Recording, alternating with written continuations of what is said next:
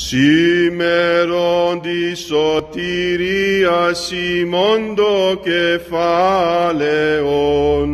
και του απεώνος μυστηρίου η φανέρωσης, ο Υιός του Θεού, Υιός της Παρθένου γίνεται, και Γαβρίλ την χάριν ευαγγελίζεται, διό και ημίσιν αυτό, τη Θεοτόκο